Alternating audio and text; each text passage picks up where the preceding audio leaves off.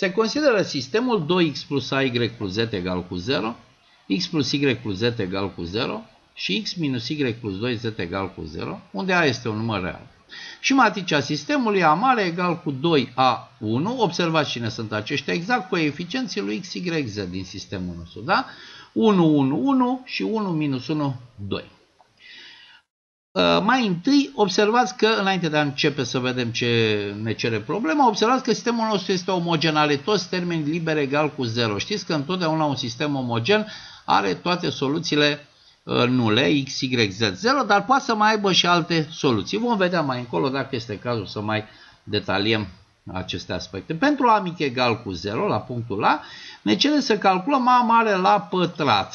Păi A mare la pătrat înseamnă cinematicea asta de aici din dreapta, în care în loc de A punem 0. Da? Deci 2, 0, 1, 1, 1, 1, 1 minus 1, 2, ori ea însăși, da? Ori 2, 0, 1, 1, 1, 1, 1 minus 1, 2. Și hai să facem calcul. Deci prima linie ori prima coloană. 2 ori 2, 4, plus 0 plus 1, 5.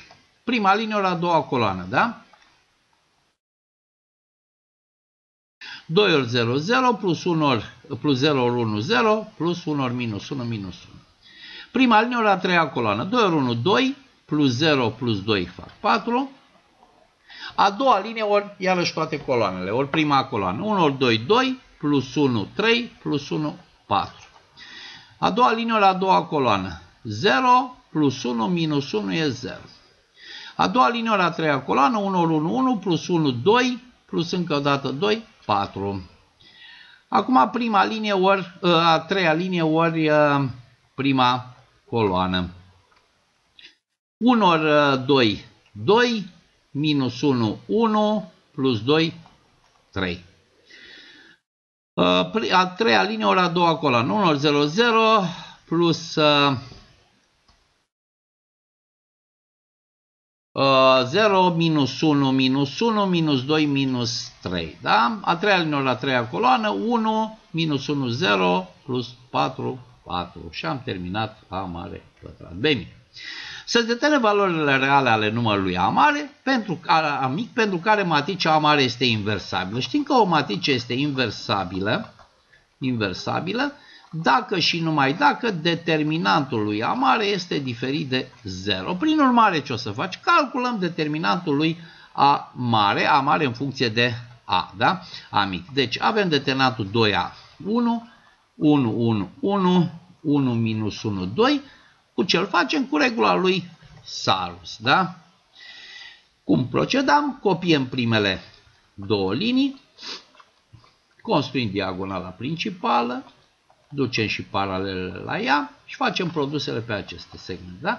2 ori 1 ori 2 fac 4, 1 ori minus 1, deci ăsta e minus 1 aici, uh, minus 1 și cu 1 minus 1, 1 ori A ori 1A, minus diagonala secundară și paralelele la ea,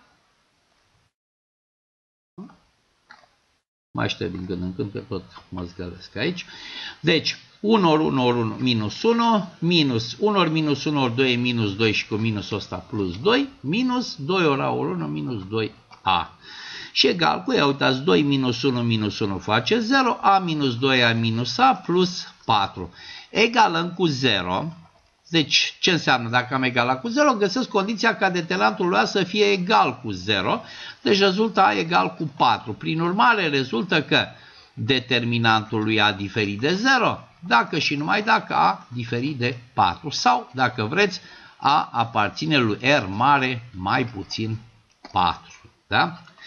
Ce mic pentru a aparține lui R minus 4 să se rezolve sistemul în mulțimea numelor reale. Păi ia uitați, dacă A, deci dacă A aparține lui R mare minus 4, pe asta ce înseamnă? Deci am văzut că determinantul lui A mare e diferit de 0. Păi și acum zicem așa, cum sistemul, cum sistemul este omogen, da? Păi ce rezultă? El are soluție unică, da? Pentru că determinantul lui A mare fiind diferit de 0, sistemul este compatibil. Păi, ă, determinat. Cum el are soluție unică, iar se observă că x egal cu 0, y0, z0 este o soluție a sistemului, rezultă că soluția, singura soluție este x egal cu 0, y egal cu 0, z egal cu 0. Da? Și cu aceasta am terminat problema.